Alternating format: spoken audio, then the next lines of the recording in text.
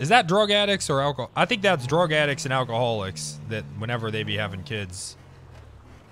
Fuck. Uh, anyways, here, dog. Why don't you take this, yo? Well, I had a kid, but we sold Sizz's baby to the pawn shop. Yeah, I was that, and I was talking about this, yo. Right here, dog. Right there in the gun, in the gun box, yo. I mean, there you go. Look at that.